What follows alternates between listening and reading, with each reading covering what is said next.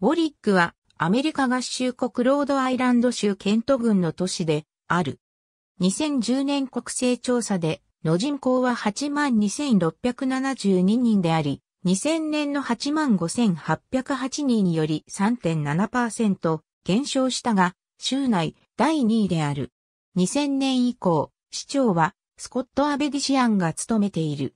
1642年にサミュエル・ゴートンが創設したウォリックはアメリカ史の主要な出来事を目撃してきた。ウォリックはフィリップ王戦争の時に人口が激減し、アメリカ独立戦争の時はイギリスのスクーナー船ガスペイに対して最初の銃撃が行われた場所だった。ウォリックは独立戦争でジョージ・ワシントン将軍に次ぐ副司令官だったナサニエル・グリーン将軍や南北戦争の時にゲティスバーグの戦いで英雄となったジョージ・エス・グリーン将軍の生誕地だった。ウォリックには、ロードアイランド州の主要空港である TF グリーン空港があり、プロビデンス大都市圏のように教し、マサチューセッツ州ボストンのジェネラル・エドワード・ローレンス・ローガン国際空港の代替空港の役目も果たしている。また、ロードアイランド州陸軍州兵の第43憲兵旅団基地もある。ウォリックは奈良ガンセット族インディアンの大首長マイアントノミが貝殻玉144ファソムを受け取ることに合意した1642年にサミュエル・ゴートンによって創設された。これはシャウホメット買収と呼ばれた。この買収には現在のコベントリーやウェストオリック町の町も含まれていた。しかしこの買収は紛争なしに行われたものではなかった。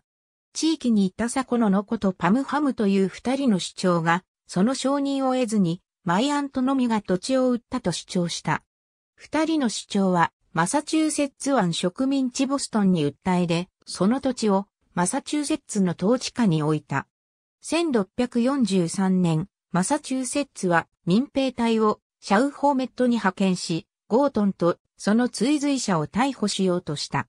激しい対立の後、ゴートン支持者のうち3人を除いて、全員がマサチューセッツの部隊に降伏した。この出来事が契機で、ナラガンセット湾にあった他の3つの町が合同し、ナラガンセット湾の町にロードアイランドを呼び、プロビデンスプランテーション植民地を形成する王室直居を得た。1648年、ゴートンは海軍提督でイギリス議会プランテーション問題委員会の長であった第2代ウォーリック伯爵ロバート・リッチから土地特許を認められた。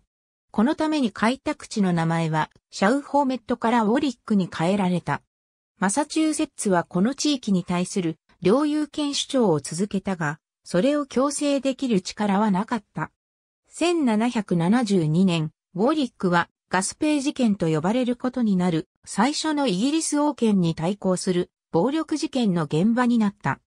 当時密貿易が当たり前のように行われていたナラガンセット湾に1765年の飲酒法やタウンゼンド処方を強制するための密輸艦指定 HMS ガスペーに地元のアメリカ愛国者たちが乗り込んだ。船を乗っ取られるのを防ごうとしたガスペーの指揮官、ダッティンストン会議がまた当てを撃たれ、アメリカ独立に向かう出来事での最初の地が流されたのがこの地になった。ガスペイは火をつけられる前に、すべての大砲や武器を外された。独立戦争の間、ウォリックの民兵隊は、モントリオール、ケベック、サラトガ、モンマス、トレントン、ロードアイランドなどの戦いに参戦し、ヨークタウンでイギリス軍が降伏した時もその場にいた。ウォリックは北緯41度43分5秒整形71度24分55秒北緯41.71806度整形71.41528度、41.71806-71.41528に位置する。アメリカ合衆国国勢調査局によれば、地域全面積は49.6平方マイル、このうち陸地は35.5平方マイル、水面は14.1平方マイルで、水域率は28.46%である。次のビレッジと呼ばれる地区がウォリック市内に位置している。ウォリックは公式にはプロビデンス都市圏の一部であり、この都市圏では2010年時点での人口160万852人と推計されている。以下は2000年の国勢調査による人口統計データである。地元の公立学校は、ウォリック公立教育学区によって運営されている。ウォリックにある総合公立高校は、トールゲート高校、ウォリック大駅平記念高校及び、ピルグリム高校の3校である。中学校も3校ある。ビショップ・ヘンドリッケン高校は、カトリック系男子のカレッジ予備高校であり、やはりウォリックにある。ロードアイランドコミュニティカレッジのナイトキャンパスもウォリックにある。ウォーウィックと表記されることがあるが、ウォリック伯にちなんで名付けられたので、イギリスでの表記による。